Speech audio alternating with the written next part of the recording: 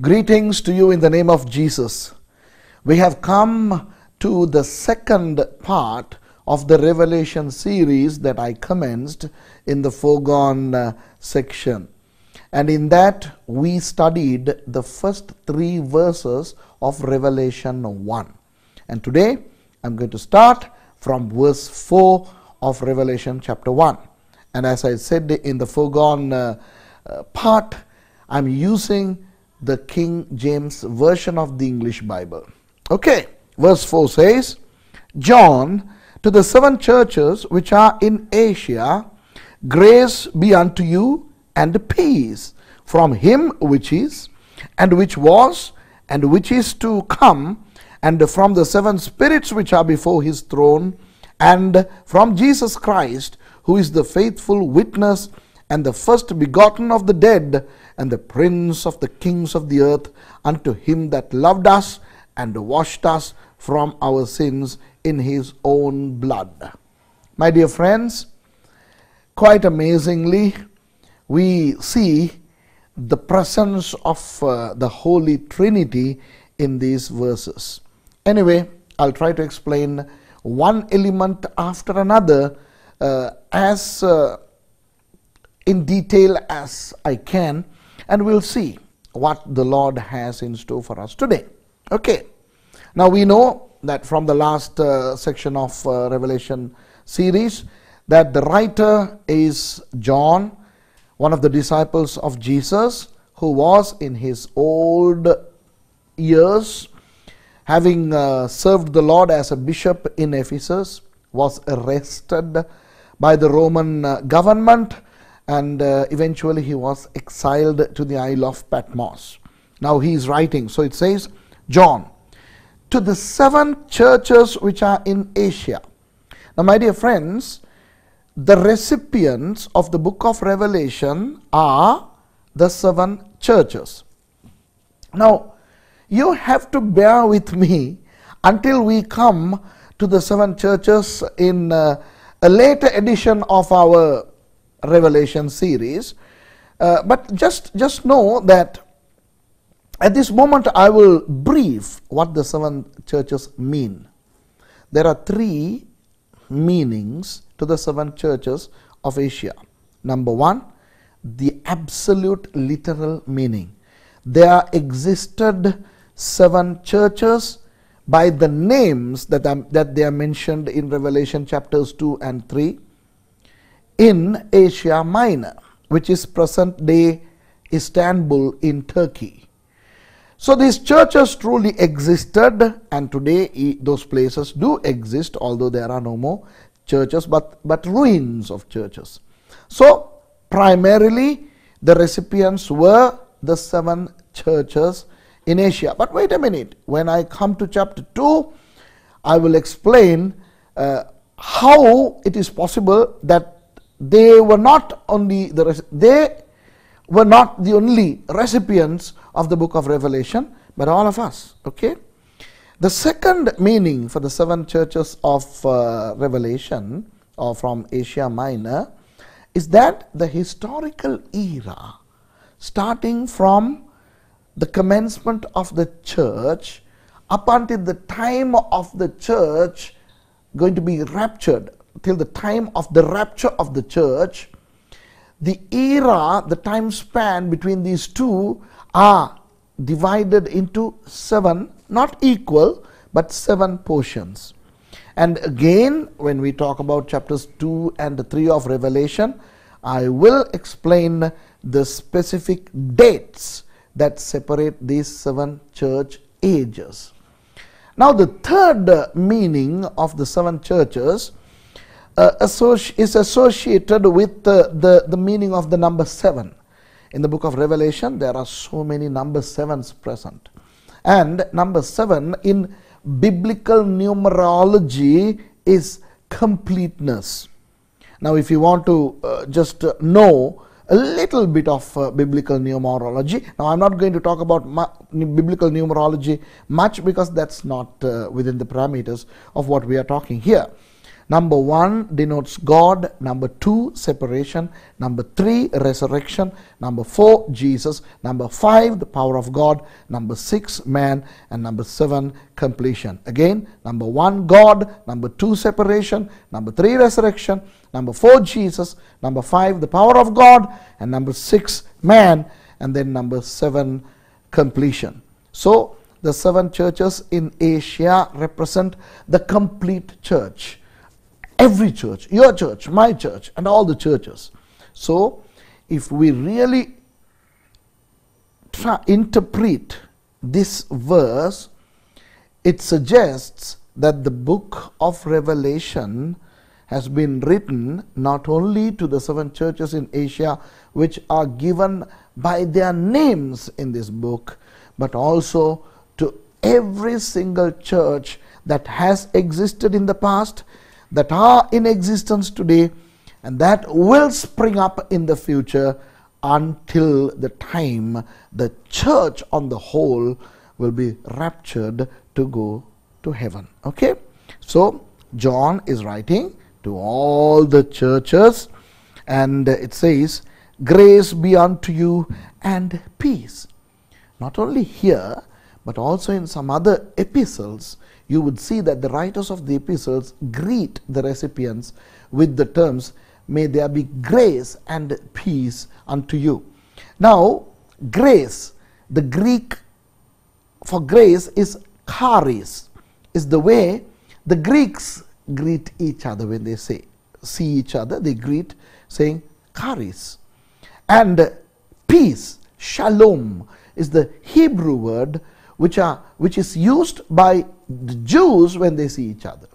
So, John, in writing to every church, is now greeting them with these two words grace and peace, charis and shalom, so that he could accommodate both the Gentiles and the Jews.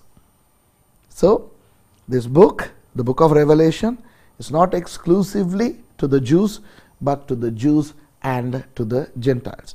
And here we see that grace precedes uh, peace. So Gentiles are given more prominence over and above the Jews, not in any way to undermine the Jews, but to make the book of Revelation uh, very important to the Gentiles as well and accommodating them and giving them a prominent place is uh, to show that not only the gospel but also the future hope is for the Gentiles as well as the Jews. Okay, my dear friends. Okay, from him which is and which was and which is to come. Now that talks about the Father.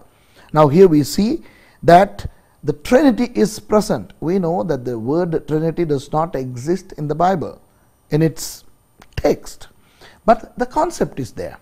And here is one of, one of, one of the main important places where the Trinity is found. So, firstly, the Father is identified here as the one which is, and which was, and which is to come. In other words, our God is there today he has been in the past. He never began. He never commenced. He has always been there. He is existing from the eternal past.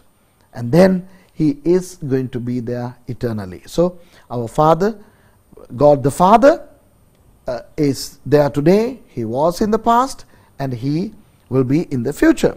And secondly, it says, and from the seven spirits which are before his throne. Now, my dear friends, this does not talk about seven, seven different spirits, but referring to Isaiah chapter 11, of which we will talk about later in our series. This is a sevenfold Spirit of God.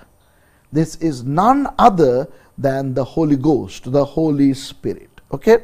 So, firstly, greetings from the Father, in the name of the Father, and now, in the name of the Spirit, and verse 5 talks about Jesus. And from Jesus Christ. Okay? Look at the Trinity. The Father. The Father is uh, identified here as the one who is, who was, and who is to come. And the Spirit, Holy Spirit, is identified he- here as the sevenfold Spirit, as mentioned in Isaiah chapter 11 and verse 2. And now it talks about Jesus Christ, okay, who is the faithful witness and the first begotten of the dead. Okay, faithful witness of what? Witness of virtually everything because he's the Word. The Word is the witness for everything for the creation, for the fall of man, for the restoration of man, for the sacrifice of the Lamb, Jesus Christ, for the salvation uh, eh, that is given uh, to mankind, and for the, the, the eternal life that we are going to spend with God. Okay? So He is the faithful witness.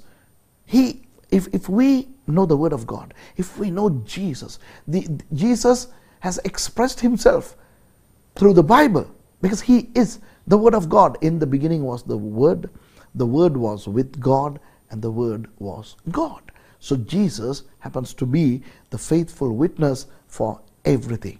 And then it says, the first begotten of the dead. Although many people rose again from the dead, both in the Old Testament and the New.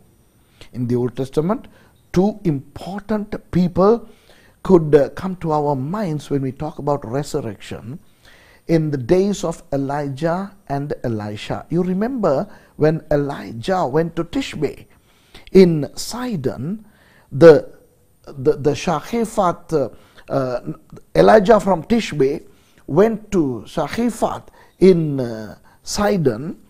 The Sariphat widow's son died, and Elijah brought him back to life. Then in the story of Elisha, we see that the son of the Shunammite woman died, and then Elisha brought him back to life. So we see resurrection in the Old Testament. Then we see resurrection in the New Testament. For example, Jesus brought back a young girl who died, who died to life. He said in Aramaic, Talitha Cumi, little girl, rise up.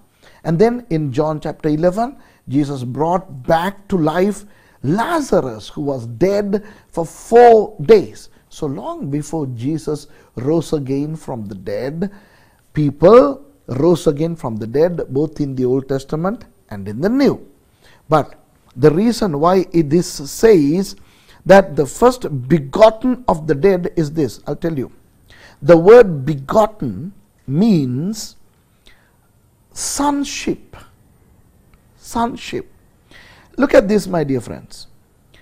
Before Jesus died and rose again from the dead, there was no concept of anyone being born again.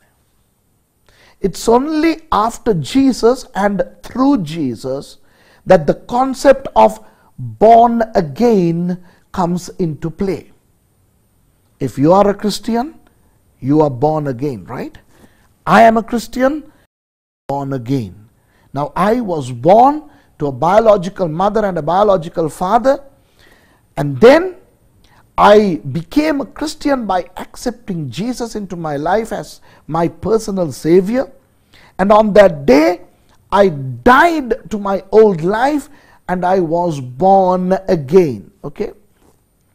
On the same token, if you are a Christian, it doesn't matter whether you became a Christian from being a, a, believer of another faith or whether you have been a Christian right through your life.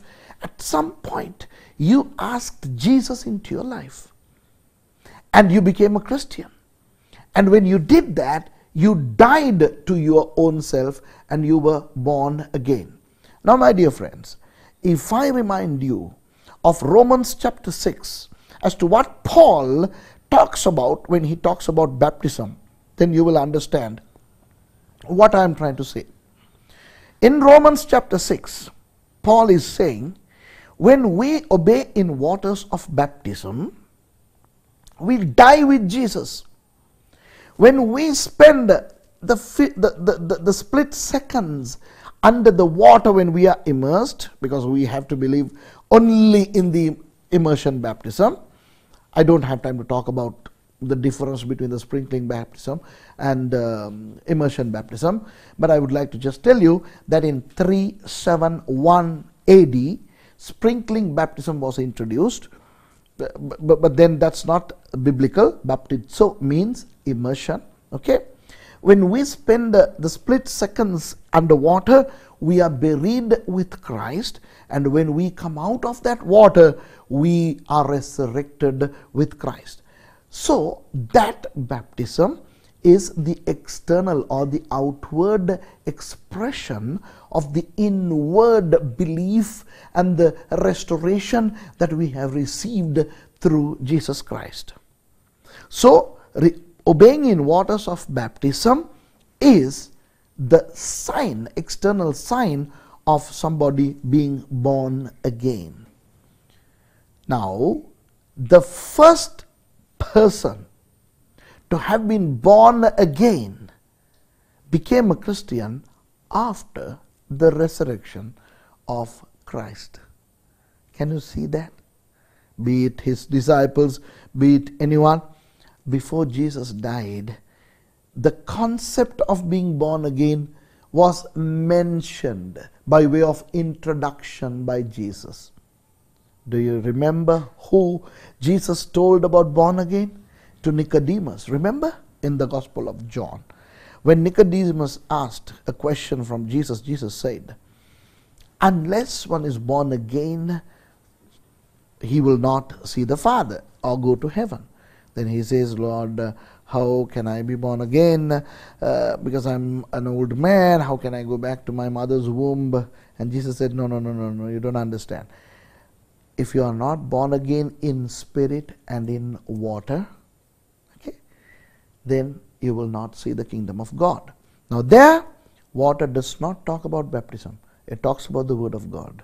And the Spirit talks about the regenerating Spirit of God, the Holy Spirit. So, one is quickened or resurrected or made born again by the Holy Spirit when he or she accepts Jesus as his or her personal Savior. What I'm trying to tell you is this the practicality of one being able to be born again in water and spirit, or the Word and the Spirit, transpired only after the resurrection of Jesus Christ. And that's why here it says that Jesus was the first begotten of the dead. Can you see that? Right? Because it was Jesus' resurrection was not just another resurrection, like Lazarus or like that little girl or like the son of the Sharifat woman or the son of the Shunammite woman. Okay? Jesus' resurrection brought the possibility of people on again.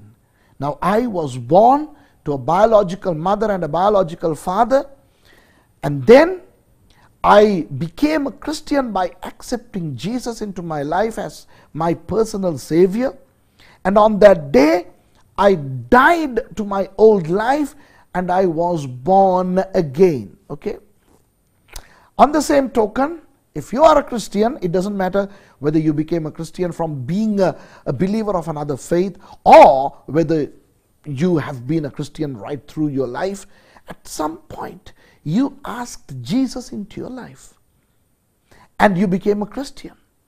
And when you did that, you died to your own self and you were born again. Now, my dear friends, if I remind you of Romans chapter 6 as to what Paul talks about when he talks about baptism, then you will understand what I am trying to say. In Romans chapter 6, Paul is saying when we obey in waters of baptism, we die with Jesus. When we spend the, the, the, the, split seconds under the water when we are immersed, because we have to believe only in the immersion baptism, I don't have time to talk about the difference between the sprinkling baptism and um, immersion baptism, but I would like to just tell you that in 371 AD, sprinkling baptism was introduced, but, but then that's not biblical. Baptizo means immersion. Okay. When we spend the, the split seconds underwater, we are buried with Christ, and when we come out of that water, we are resurrected with Christ. So, that baptism is the external or the outward expression of the inward belief and the restoration that we have received through Jesus Christ. So, obeying in waters of baptism is the sign, external sign of somebody being born again. Now, the first person to have been born again became a Christian after the resurrection of Christ. Can you see that? Be it his disciples, be it anyone, before Jesus died, the concept of being born again was mentioned by way of introduction by Jesus. Do you remember who Jesus told about born again? To Nicodemus. Remember in the Gospel of John. When Nicodemus asked a question from Jesus, Jesus said, Unless one is born again, he will not see the Father or go to heaven. Then he says, Lord, how can I be born again? Uh, because I'm an old man. How can I go back to my mother's womb? And Jesus said, No, no, no, no, no, you don't understand. If you are not born again in spirit and in water, okay, then you will not see the kingdom of God. Now, there, water does not talk about baptism, it talks about the Word of God. And the Spirit talks about the regenerating Spirit of God, the Holy Spirit.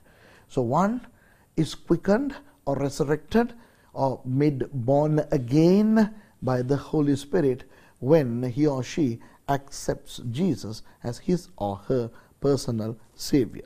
What I'm trying to tell you is this the practicality of one being able to be born again in water and spirit, or the Word and the Spirit, transpired only after the resurrection of Jesus Christ.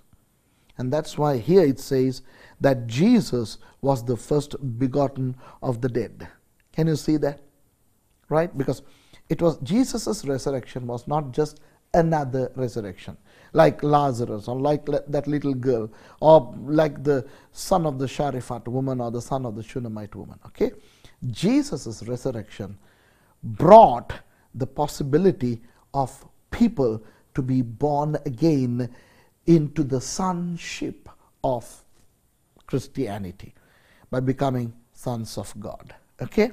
So that's why it says the first begotten of the dead and the prince of the kings of the earth. There may be kings, but then Jesus supersedes all of them because he is the king of kings. Just because it says prince, don't think that here the prince is any in any way inferior to the kings because usually a prince is inferior to the king, right? Because usually, if there is a king, the king's son is called the prince. But in this case, it's not like that. It says it's another way of expressing that Jesus is the King of kings. And then also it goes on to say, Unto him that loved us. Wow. The love of Jesus of course, the Father loved us. John 3:16 talks about that, doesn't it? For God so loved the world, uh, he gave his only begotten Son, so that whosoever believeth in him should not perish but have everlasting life. Now that's the love of the love of the Father, but it's the love of Jesus that caused Jesus to endure all the hardships that he endured, to die on that cross and be uh, rose again uh, for us. So, unto him that loved us and washed us from our sins in his own blood. Wow, wow, wow. See how many things this Jesus has done to us to be cleansed from all the sin and then to become the sons of God. Verse 6, lovely verse. It's a very sentimental verse, I'll tell you. It's a very sentimental verse, at least for me. and hath made us kings and priests unto God and his Father. To him be glory and dominion forever and ever. Amen. Wow. John says, and hath made us kings and priests unto God and his Father. Of course, God is the Father of Jesus, right? And hath made us kings and priests. Look at us. Who are we? What do we deserve to be saved? My dear friends, let me talk about myself. I was born to a Hindu family. I was worshipping 330 million gods and goddesses. As a Hindu, I was a nature worshipper. In other words, I worshipped the creation because I didn't know the creator. I never thought that I would one day meet my creator, that one day I would be introduced to my real creator. I lived as a Hindu and I lived as somebody who didn't know the true God. But way back in 1979, when I was still an anti Christian, when I still despised the God of the white man, quote and unquote, the love of Jesus came to me in the form of a pastor who came and preached the, the gospel to me. I became a Christian. Look at me today. I am not just a Christian, I am a servant of God. I am a servant of Jesus. And Jesus says, If any man serves me, him will my Father honor. You know, God the Father honors me not because I have any good in me, not because I am in any way appreciable, in any way good. No. But because I serve Jesus. Jesus called me to his service. Why did he call, call me? Is it because he can do anything through me? No. God called me to the ministry because of his love. Jesus called me into his ministry because of his love.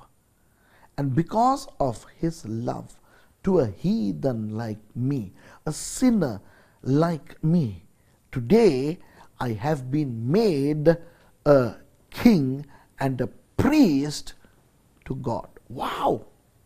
Can you see that? Of course, there are so many religions in the world and uh, those so called gods have never made any of their believers kings. But our God has made us kings and priests, albeit the fact that we don't deserve to even be His mere believers. We must be grateful to our God for His immense love and for making us what we don't deserve to become. Wow. To him be glory and dominion forever and ever. Amen. This is uh, the expression of John, the expression of John's gratitude, and so should it be in our lives. Verse 7 Behold, he cometh with clouds, and every eye shall see him, and they also which pierced him, and all kindred of the earth shall wail because of him, even so, Amen. Behold, he cometh with clouds. Uh, I, I believe that this is an allusion to Daniel chapter 7 because uh, now I'm teaching you only the book of Revelation. I'm not teaching you eschatology. Eschatology is a study of last of the last days. I am not teaching you the last days. Although the last days play a very prominent part in the book of Revelation. Now, if I am teaching eschatology, then I would teach Daniel chapter 7 also. Okay? But because I'm not teaching eschatology, but the book of Revelation, which contains eschatology, I'm not going to deal with Daniel chapter 7 and verse 11. Just, just remember, just remember that Daniel chapter 7 uh, talks about Jesus coming in the cloud with the clouds and this is similar to that perhaps this is an allusion to Daniel chapter 7. Behold, he cometh with clouds, and every eye shall see him, and they also which pierced him uh, shall see him. Right now, that is an allusion to Zechariah 12:10. Again, I don't have. Uh, mm, I don't, I don't have to teach you Zechariah chapter 12 verse 10 because Zechariah also talks about uh, the eschatological events but then again we are not studying eschatology per se we are studying the book of Revelation okay they also which pierced him and all kindreds of the earth shall wail because of him. Let me talk about each of the expressions in verse 7. Behold, now, now John is excited. He's saying, Look, you know, he saw these things in a vision. In my first episode, I explained how he saw things, right, in, in a vision. So he saw these in a vision. Wow, how excited uh, he would have been. He saw in the vision the second coming of Jesus. Now, my dear friends, in our studies, uh, we will talk about two comings of Jesus. One, the, the, the secret coming of Jesus, the rapture, and then the, the real second coming of Jesus. Now, this talks about the second coming of Jesus. Behold, oh, look, look, he's coming. He cometh with clouds, right? He's coming um, he's coming with uh, hosts and uh, clouds doesn't need to mean just this, these clouds that, that are in the sky. Of course, this also talks about the clouds, uh, in the clouds, on the clouds, with the clouds, but also with uh, clouds of angelic beings. The angels who, who, who perhaps from here look like uh, the cloud, right? So he is coming with clouds, and every eye shall see him, and they also which pierced him, uh, and all kindreds of the earth shall wail because of him. Now, my dear friends, I'm going to explain something very important here. Every eye shall see him.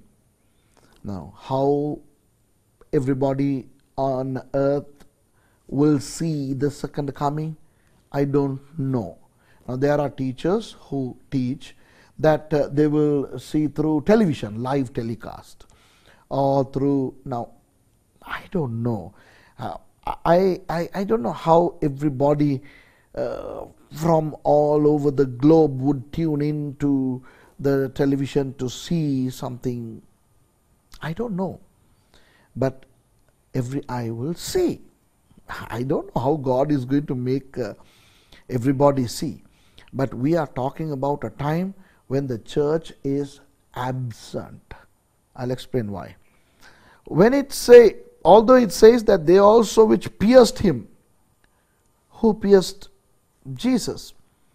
Two kinds of people. The Jews, by giving Jesus over to the Romans to be crucified, they pierced Jesus, right? Because the crucifixion involved piercing uh, in, in, the hands and in the foot. So the Jews pierced, although they did not directly do it, they were the ones who were, in, in, who were instrumental in the piercing of Jesus.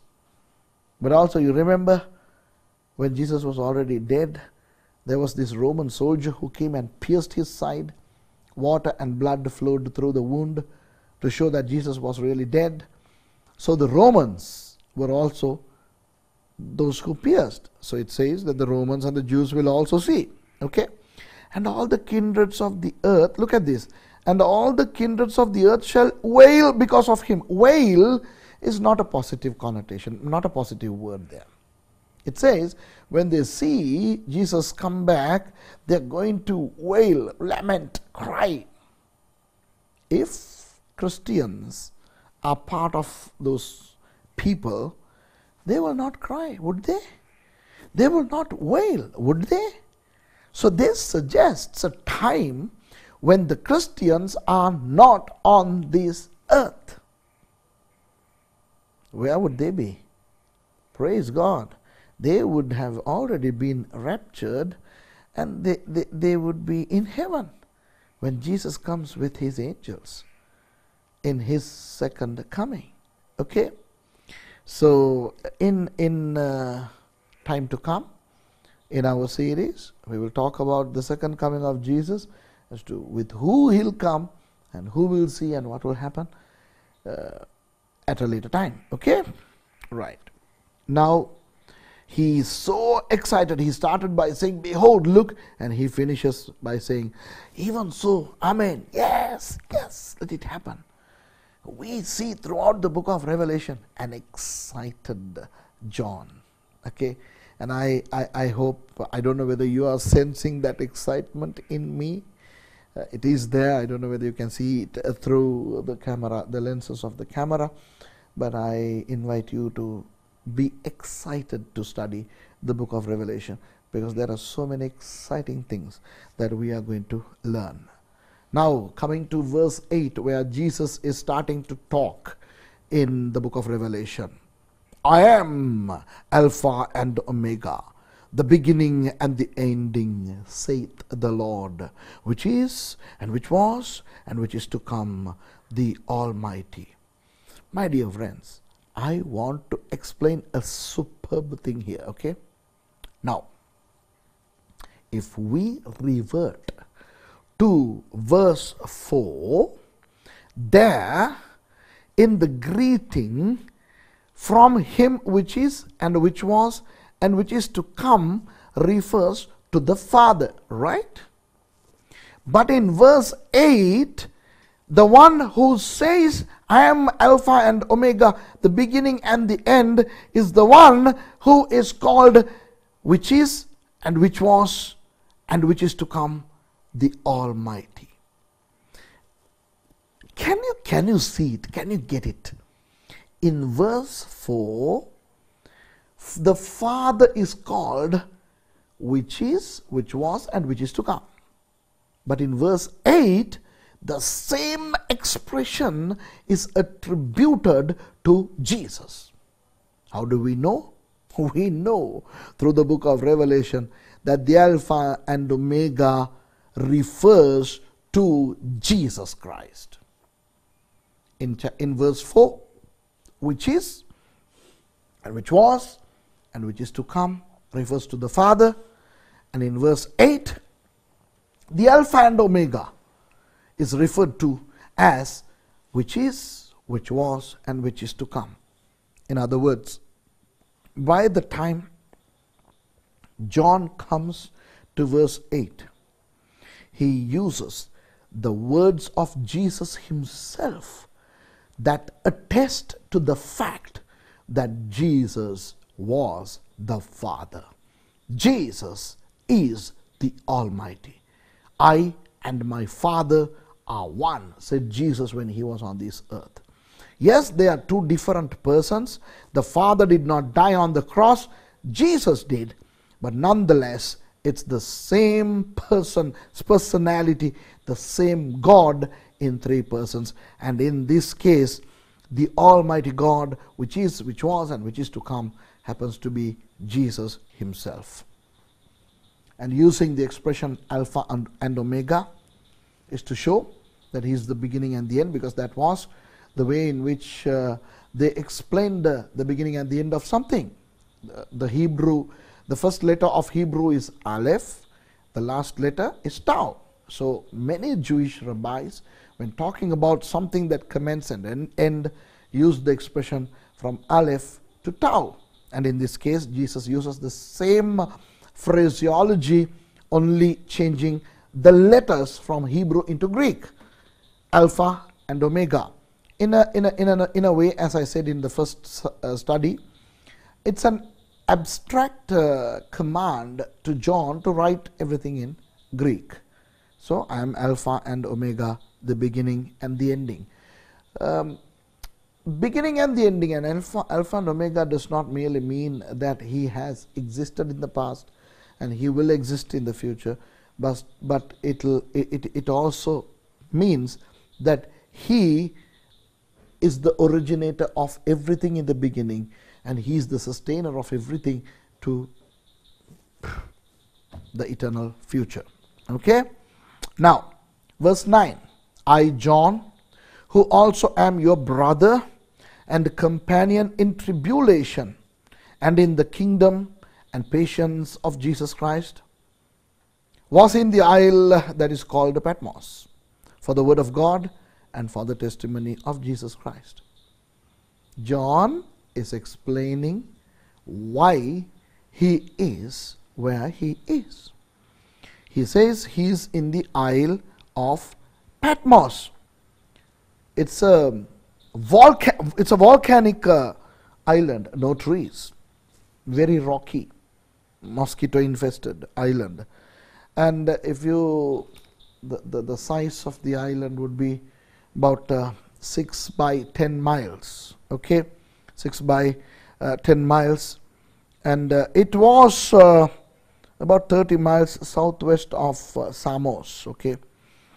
And uh, usually the Romans sent a lot of, no, not a lot, but a few inferior prisoners to that island to suffer loneliness and uh, eventually they'll die because no people lived there, only mosquitoes, volcanic, rocky island.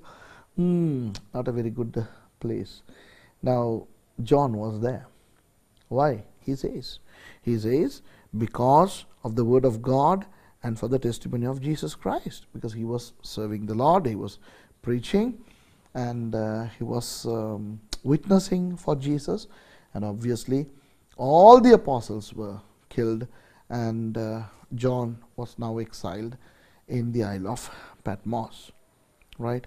And he's calling himself the brother of every uh, Christian, and he's saying companion in tribulation. Here, the tribulation does not mean the great tribulation.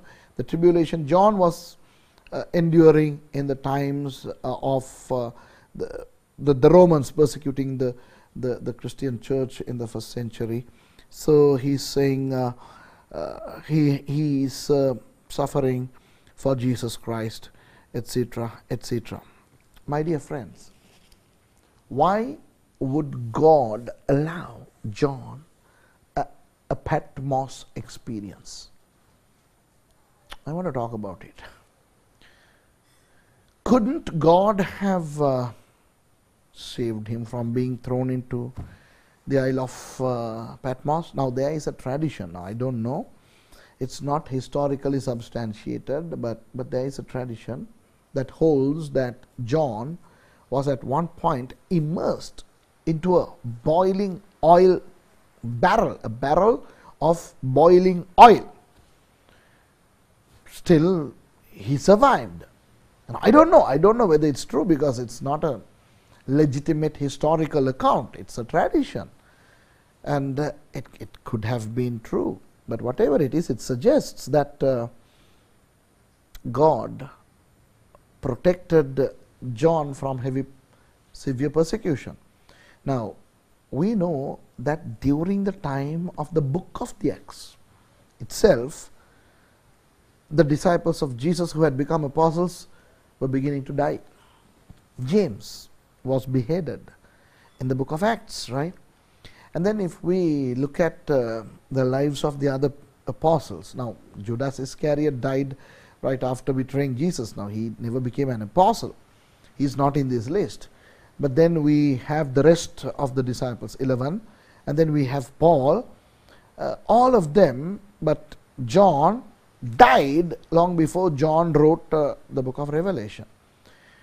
Now that tells me that John could also have been killed, but God protected him. So if God could protect him from dying, prevented John from being thrown into the Isle of Patmos. I'll tell you why. Now I looked into the life of John through some secular documentations, uh, uh, documents um, that support the idea of what John has been doing. He was a busy man being a bishop and especially in a very acclaimed uh, rich place called Ephesus, he was very busy for the Lord.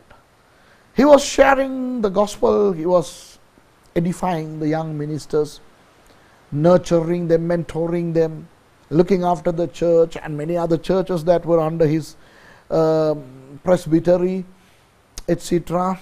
He was a very busy man for the Lord, for the Lord, in a good way. But sometimes people become so busy for the Lord that they don't have time to listen to the Lord. Now, God had a huge plan of revealing stuff to John, and God expected John to sit and write the book of Revelation, the Apocalypse, without which we wouldn't be here. We are studying the book of Revelation, thankfully given to us through John, right? Now, God wanted John to write the book of Revelation. Now, for that, God needed John to give God some time to sit and listen to God, to see those visions. But John was too busy serving the Lord, and therefore he did not have time to listen to the Lord. So, God may have allowed the Romans to capture John and throw him to the Isle of Patmos, and in the Isle of Patmos, John had nothing to do. So God used that isolation in the life of John to reveal things to him. In our lives, too, my dear friends. In my life, in my life, I have seen that there are so many good things that uh, take up a lot of our time. Good things, godly things. We are so busy with churches. I am very busy with my church. I am very busy with my Bible college. I'm very busy counseling people, praying for people. I'm very busy traveling all around the world, uh, conducting conferences, speaking appointments, and then making videos for televisions like this, etc., etc. I'm so busy in a very good way. I'm not idling, I'm not wasting my time. But hang on a minute. Do I give my God time for Him to talk to me? Many people become caught up in a lot of work and they don't have the time for God, for God to talk to them. And if that's the case, sometimes God has to allow the Isle of Patmos experience in our lives. Sometimes God allows some sicknesses into my life and I become bedridden. And in those times, God speaks to me. And later on, after I uh, received the healing and I am up and about. I thank the Lord for the time that I spent uh, in bed because God would talk to me. Even in your lives, my dear friends, if at times God permits situations where you are cornered, where you are sort of arrested, not by the legal institutions, but you know, when you are, when you don't, when you are unable to do anything, you are you are just cornered. Allow the Lord to minister to you. There may be times that the Lord talks to you. There may be your times in the Isle of Patmos in your own little way for God to be able to talk to you in His power, authority, and prerogative. Okay? Right. Now let's go to verse, verse 10. I was in the Spirit on the Lord's day and heard behind me a great voice as of a trumpet. I was in the Spirit. Okay, I was in the Spirit is a term which is uh, to denote uh, being in union with the Holy Spirit and yielding unto Him. Okay, now, my dear friends, He abstractly says that He is our vision. That's exactly what happened to John. He was in the Isle of Patmos, and on the Lord's day, he was in the Spirit. Right? Now, that Spirit is the Holy Spirit. He was taken control by the Holy Spirit. He began to receive the revelations through the Holy Spirit. Now, that's what it means, okay? Uh, on the Lord's day, when was it? Was it Saturday or Sunday? We know that Shabbat was the, the Lord's day in the Old Testament for the Jews. So, was this Saturday? No, my dear friends, this was Sunday. Why? I'll explain to you something. There are those who are very adamant about uh, the day of the Lord, in the Lord's Shabbat. Many are very insistent that the Shabbat should be on Saturday because it was held on Shabbat. And the fourth commandment of the Decalogue, uh, the, the Ten Commandments, uh, say that the Lord's Day, Shabbat, should be held by everyone.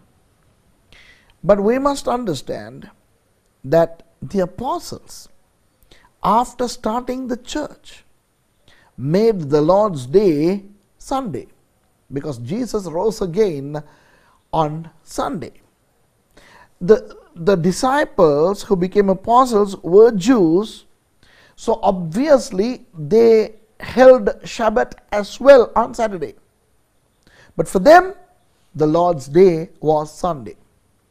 We have enough historical records, legitimate ones, to show that the Lord's Day had become Sunday from the time the church started. Now, many people say that Sunday became the Lord's Day after Constantine. Yes, Constantine issued an edict in 321 AD that the day of the church or the day of the Lord for Christians should be Sunday. Now, it's true, but because of that, many people think that Constantine made Sunday the Lord's Day. No. Sunday would have been, was, it was a holiday for the Romans. That's a different story. But long before Constantine made the edict in 321 AD that Sunday should be the day of the Lord for the Christians. The Christians, starting from the time of the apostles, from the commencement of the church, had used Sunday as the Lord's day. So, my dear friends, the day of the Lord, the Lord's day that uh, John is talking about in verse 10 is not Saturday but Sunday. Okay? Now he heard a voice from behind him, a great voice. Okay? It was like a, a trumpet because for them a trumpet was a very loud but a beautiful noise. Okay? It was loud but beautiful, saying, I am Alpha and Omega, the first and the last. And what thou seest, write in a book and send it unto the seven churches which are in Asia. And then Jesus, Jesus is the one who is talking, and he's naming the churches. Unto Ephesus, and unto Smyrna, and unto Pergamos, and unto Thyatira, and unto Sardis, and unto Philadelphia, and unto Laodicea. Okay, my dear friends, as I said, these seven churches truly existed in those places. Even today, these places are there in Istanbul, in Turkey, but uh, they are just ruins. Uh, Ephesus, Smyrna, Pergamos, Thyatira, Sardis, Philadelphia, and Laodicea were cities in Asia Minor where churches existed and the primary recipient, recipients of the book of Revelation happen to be those people. But then we know that secondarily, the church era, from the time the church started till the time the church is going to be raptured, is divided into seven segments. And the first segment is similar to the church in Ephesus, and the second segment is similar to the church in Smyrna, and so on and so forth. And the third, uh, third meaning of these seven churches is every church because number seven connotes completion. So, my dear friends, today we have uh, studied from verse uh, 4 all the way to verse 11. Okay? Now, in our third section in our series. In our third part, we are going to start from verse 12 onwards and we are going to see what John saw because it starts by saying, And I turned to see the voice that spake with me. And then he goes on to explain how Jesus looked. And the way Jesus looked signifies a lot of things that we are going to uh, ponder upon in our next episode. So, my dear friends, I believe you're enjoying uh, this series on Revelation. You may not necessarily agree with me on everything. I don't want you to agree with me on everything, right? Just allow the Holy Spirit to minister to you. And uh, as you see, I have done a lot of research, but then it's not the ultimatum. I'm not very dogmatic on certain things. And uh, may God bless you and keep you until we meet in our third part of this Revelation series. May who he who is, who was, and who is to come keep you and bless you until then. Bye.